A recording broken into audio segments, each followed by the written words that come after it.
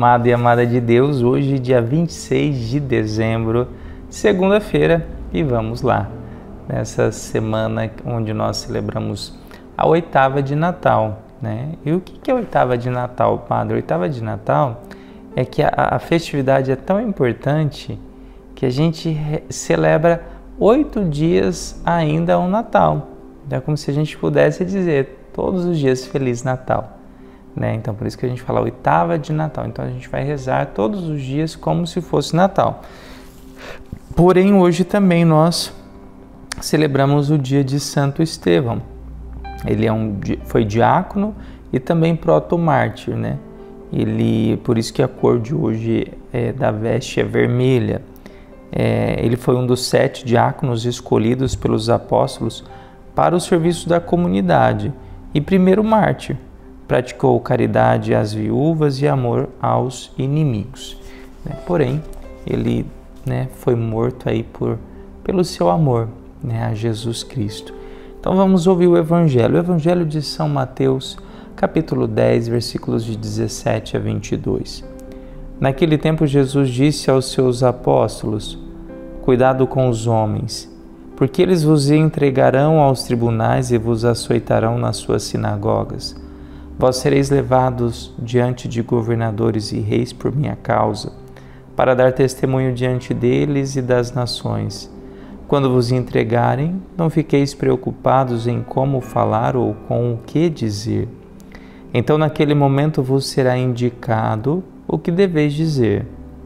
Com efeito, não sereis vós que havereis de falar, mas sim o Espírito do vosso Pai, que falará através de vós. O irmão entregará à morte o próprio irmão, o pai entregará o filho, os filhos se levantarão contra seus pais e os matarão. Vós sereis odiados por todos por causa do meu nome, mas quem perseverar até o fim, esse será salvo. Palavra da salvação, glória a vós, Senhor. Essa passagem ela foi escolhida hoje por causa da, da história de, de Santo Estevão. É como se a palavra já estivesse dizendo, de fato, Jesus não enganou nenhum dos seus, né? E aqueles que permaneceram firmes até o fim, eles foram salvos. E aí quando a gente pega a primeira leitura de hoje, eu vou só ler porque ela já diz tudo, né? Então, naqueles dias, Estevão, cheio da graça e poder de Deus, ele fazia prodígios e grandes sinais entre o povo. Né? Ou seja, ele estava ali né, agindo em nome de Jesus Cristo como discípulo, né, como diácono, trabalhando nessa igreja e fazendo grandes sinais. Porém, alguns membros da sinagoga, juntos, junto com sirenenses, alexandrinos e alguns da Sicília e da Ásia, começaram a discutir com Estevão. Por quê?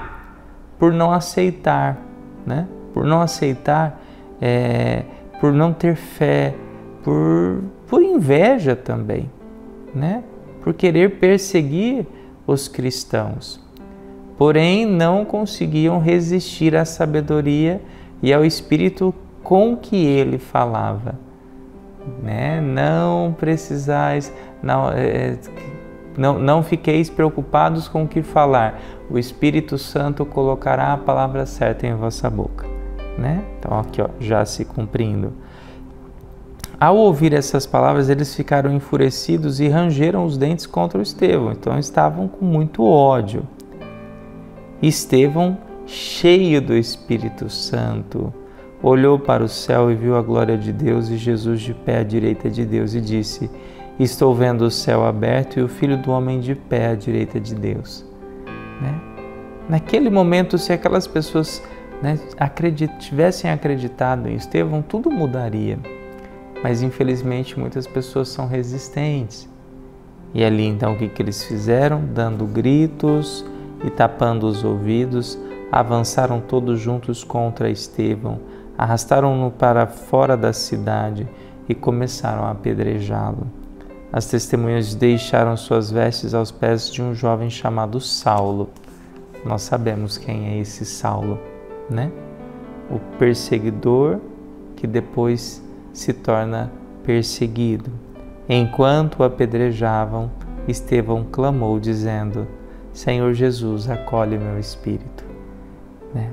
E ali, então, nós olhamos para alguém que perseverou até o fim e foi salvo. Né? Então, a palavra é, é muito bonita e lógico que nós, nós temos que trazer essa palavra para o nosso dia de hoje, onde nós somos convidados a perseverar na fé. As tribulações, as perseguições, as tempestades talvez venham de, de outra forma. Mas nós precisamos perseverar na fé. Sermos firmes na fé, né? Onde nós perseverando na fé, enfrentando todas as tribulações, sem abandonar a Deus, sem negar a Deus, nós vamos conseguir ser ter a salvação. Né? Hoje a palavra vem dizer isso para nós, então que o exemplo de Santo Estevão né? e, e de alguém que por onde passava distribuía amor, por onde ele passava ele a, a, o estar cheio do Espírito Santo fazia com que ele né, deixasse gotinhas do Espírito Santo por onde ele passava. Né? E o, o mal não deteve o bem, né? não destruiu o bem, porque ele fica para nós um exemplo daquilo que devemos buscar a cada dia. Então vamos rezar juntos. Pai nosso que estais nos céus, santificado seja o vosso nome, venha a nós o vosso reino, seja feita a vossa vontade, assim na terra como no céu.